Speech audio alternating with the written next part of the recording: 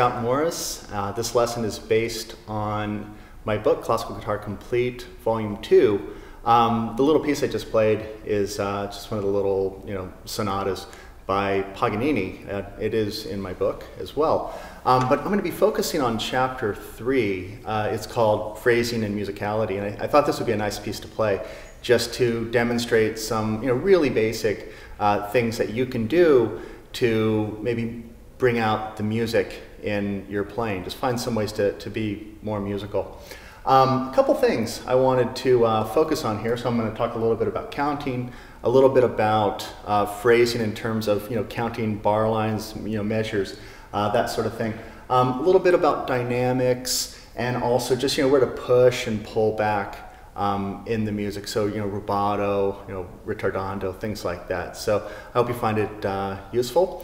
Um, let's start first just with uh, you know the pickup notes. Um, just just uh, in case you don't have the score in front of you yet, um, this is on page 19, and it's in 6-8 time. You have two eighth notes to start, and that's it for the measure. So you have these two you know pickup notes.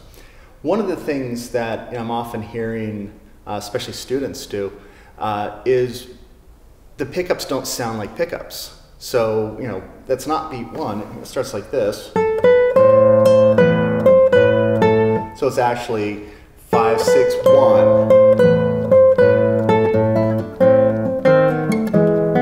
So you get that one, da, da, da, da, da. Um, you know, I suppose you should also know a compound time signature like 6, 8. You're not really counting at 1, 2, 3, 4, 5, 6, 1, 2, 3, 4, 5, 6. It's kind of like, you know, a slower 2. You know, 1, 2, 3, 4, 5, 6, 1, 2, 3, 4, 5, 6. So that's important to emphasize as well. So understanding it's not 1, 2, 3, 4, 5, 6, straight through like that. But these two eighth notes, the way I like to do it is I hear a full measure in my head and then I put the pickups on the end of that measure. So instead of just you know starting and then trying to find you know where I am in, in the measure or, or the beat, I actually hear one, two, three, four, five, six, one, two. So you know I'll do that again just to kind of emphasize this once more. One, two, three, four, five, six. So you know I'm already hearing the beat before I start to play. I think a lot of people, they start to play and then they look for where you know the, the count is, and that, that's not a good strategy. So you need to know right off the top. Um, another thing you know we want to talk about here is the idea of you know phrasing and, and the structure of the phrase. Well, the, this piece is in you know what's called binary form. So you've got an A section, and that's repeated, and then you've got a B section, um, and that's repeated. So it's like A A B B. Well, this A section is basically eight bars, and it's in the really traditional classical four bars question, four bars answer, um, sometimes called period form. Um, if you check chapter three in my book, there's a whole bunch about uh, you know, period form, uh, question answer, what's often called antecedent consequent um, as well as you know the different types of cadences, half cadences, and you know you know full cadences, and authentic cadences, and plagal cadences. You know, I'm not going to get into all of that now, but I am just going to you know show you this basic uh, period form. So uh, I'll slow it down here, and uh, and I'll stop at the various sort of you know you know points in the phrase here, and uh, you'll see what I mean by this question and answer. So we start.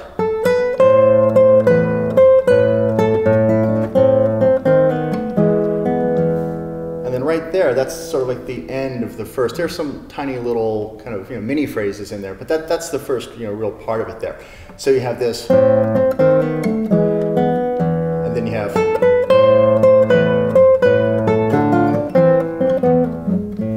Okay, so the question is, the question part of it is,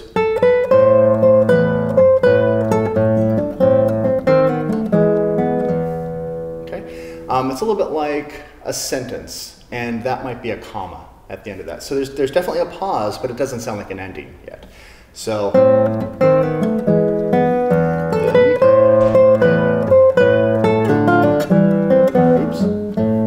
So there, that sounds more like an ending. Now, if you know your, your theory, or you know, even if you're not, you know, a, you know, a real theory uh, you know, buff.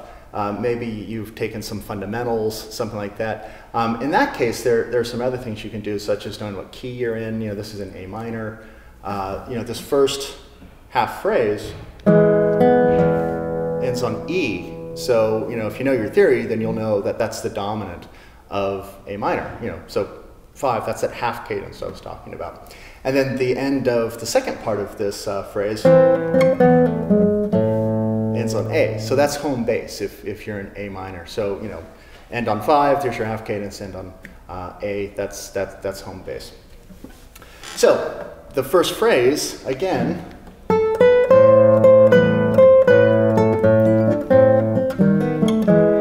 half cadence.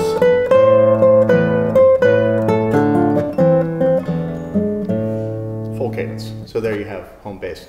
Um, now, what can you do once you know that to make it sound uh, musical? Well, you need to take a little bit of time. You know, what I do at the end of you know, the first half of that phrase, at that half cadence, is I take some time and then I take a breath.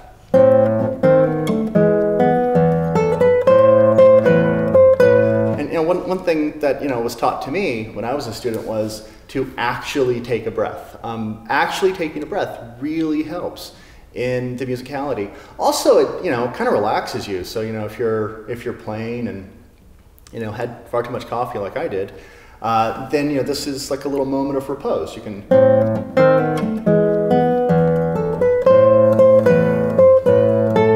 So you know I think a lot of guitar players. Um, everything is just in the fingers, you know, whereas singers, wind players, um, you know, it's much more sort of connected to, to, to, to them. Um, you know, when, when they breathe in the music, they literally breathe in the music. It means, you know, take air. Um, a lot of times we just, you know, think it means, you know, be quiet for a second, or, you know, some people get nervous and actually hold their breath. It's exactly the opposite of what you want to do. So uh, take a little bit of time and then take a breath.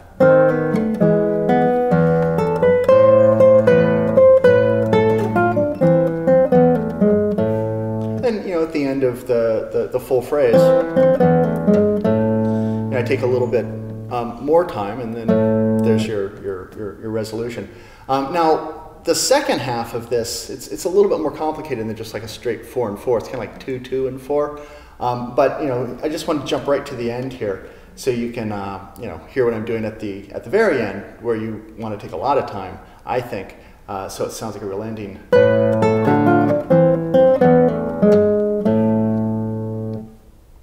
So that's the end of the piece. Now, one of the things I teach my students to do, and uh, you know, something that, that I do myself when I perform, is I think it's really important to look musical at the end. I know this sounds sounds a little strange, but um, don't move um, when you've finished the, the final notes.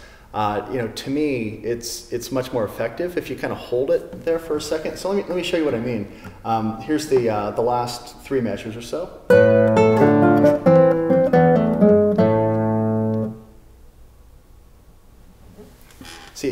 Hold it a little bit. It always sounds insincere when somebody does, you know.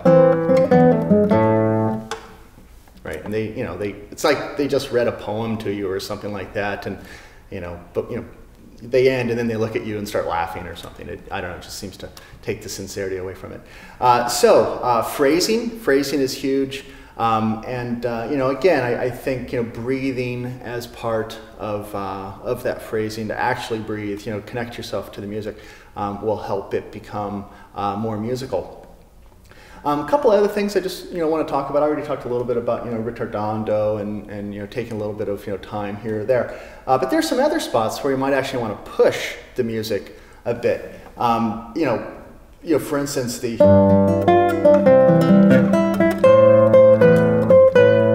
before that little theme comes back there at the end. You know, I like to kind of push the tempo there um, and then give back. You know, that's what we call rubato. And you know, rubato is a tricky thing to explain. You know it, it means borrowed time. Um, if, if you push the tempo, if you speed up, if you do a little accelerando, um, then you need to slow down in order to kind of like get back on track. In other words, if you just speed up and keep speeding up, speeding up, speeding up, then you're just rushing, But if you speed up a little bit and then you slow it down, then the music has this, you know, sort of elastic flexibility that, that can be really, really nice. Um, you know, it's hard to, to kind of verbalize rubato um, and you know, read books about rubato, these sorts of things. Uh, actually, what I suggest is just listen to a lot of really musical players. You know, listen to Scott Tennant, listen to David Russell, listen to you know wonderful musical players, and uh, that's a much better way. It's like a jazz musician, you know, trying to learn how to swing by reading in a book, you know, how to swing. That's that's no way to learn how to swing. You need to listen to uh, players who know how to do it, and uh, that way you can kind of internalize it. Um, the last thing I want to talk about here is dynamics and how to shape the line.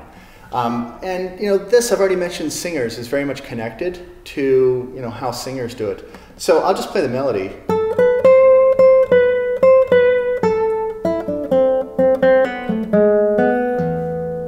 You've got this.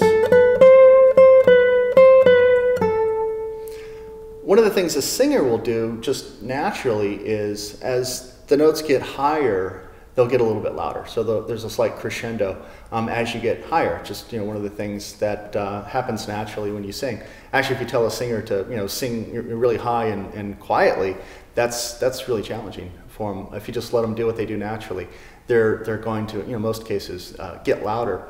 I found that one of the best ways to phrase on the guitar uh, with dynamics is as you move up, as the notes get higher you get a little bit louder. As the notes go down, you back off. Um, and it's, it's almost as simple as that. There's some other spots where you hear maybe some, uh, you know, a little bit of dissonance, like there when you're at that half cadence, and there you want to push it a little bit as well. But in general, if you follow the line, you know, when it goes up, get a little bit louder. When it goes down, get a little bit quieter. And then just listen for tension and resolution in the music. And, you know, with tension, I like to push it a little bit louder. Resolution, back off. Um, then, you know, I think you'll, you'll find that your pieces become more musical. And, you know, remember this guitar thing that we're doing, it's not an athletic event. It's not about, you know, just getting all the notes right and, you know, being faster than the next guy. Um, that, that's most of it. But uh, you also want to be really musical. Um, and uh, your audience will enjoy your performances much more um, if you actually play your music in a musical way. So I hope you got something out of this and hope to see you again soon.